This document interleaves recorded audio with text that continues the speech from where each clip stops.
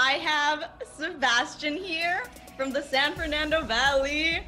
And he is an amazing dude. I really enjoyed training with him. Um, I wanted to bring him on today to share a little bit about his experience working with me and the progress that we have been getting. So before, you know, we we got started, did you have a joint mobility practice or workout that you were doing? I was doing some workout with another uh, program, uh, with the Move You program, but um, I didn't feel like I was getting results. Like I, there's like you know, there's steps, and I felt like I kept repeating these steps over and over again. I really wasn't improving, and you know, there wasn't someone there to coach me to tell me, hey, this is what you're doing wrong. And the program is very general, right? Uh, and then I needed something more specific because I have my own personal issues that you know I through training and what I've done and bad habits. So I really realized, okay, I can't just take it as a general practice. I need to really focus in on what my problem is and then solve the problem. Yeah. That's what kind of pushed me towards FRC because I would see these people doing these movements and um, you know people talking about kind of the mindset or the more of like the science behind what they're doing and i'm like oh my god that's totally what i need because i realize i do need to to increase you know my range and my mobility and stuff like that and i felt it limiting me in what i wanted to do you know? What were like the biggest challenges or problems or pains you were facing before we started training together? Uh hip pain.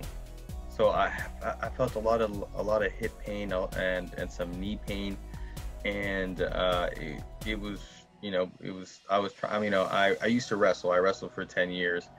Uh, when you're young, bad technique doesn't matter. Okay, you can push through it. Also, your healing factor is like Wolverine status. uh, as as as you get uh, later in life, the margin of error is smaller. So you really start to feel the things you've done wrong, and you do them wrong for a long time. So it's like let's say ten years of me doing something wrong you're not going to fix that overnight. Mm-hmm. You know, you can't expect, hey, I'm going to do two months of whatever and that should be good. It's like, no, you have to spend years correcting your problem. Yeah. So you had yeah. hip pain. Um, what was the most frustrating thing about it and how did it make you feel? Like an old man, like a really, really brittle old man. I'm and talking how, about. Yeah. I felt like the gravity of Earth was turned up. Yeah. And I'm and just like, I, oh, How old are you? I'm 30. I'm 30, but I felt like I was. I mean, I still do till this day, but I mean, I'm feeling better too. But I, I felt like I was like, I'm like, dude, how am I gonna feel when I'm 60? How yeah. am I gonna feel when I'm 80? When you think about what you used to do and what you, how limited you are now, it's like, okay, yeah. Um, let's say I wrestled, I can be, I can wrestle really well till this day, I'm sure. But it doesn't mean I can lift up my arm to grab a cup of coffee in the, the cabinet. Like, mm-hmm. what's the point of all of that if I can't even grab a cup of coffee to pour myself a cup of coffee? So I've strengthened my shoulders for about a year and a half, and I didn't see any results. And when we first started doing our our, our movements and stuff, it felt like there was just like on my spine like rust. It rusted, and we were just breaking up the rust and finally starting to get some movement. And it, it if I, I could have been in the other program for 20 years and I would have never realized that my was so limited in that range, right? Yeah. Yeah. So that's what's so so important about FRC. It's like you do an assessment for every person.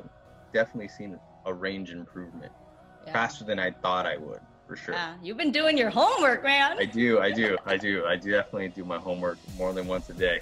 Now that you're getting results, um, how has that changed you? I see the light at the end of the tunnel. Uh, and then, you know, with the other program, I was definitely at a plateau. And then now I'm kind of like, man, if I do this for three more months, like, who knows what's gonna happen, man? yeah. like, I can, I could climb any mountain or you know, go and do any activity I want to.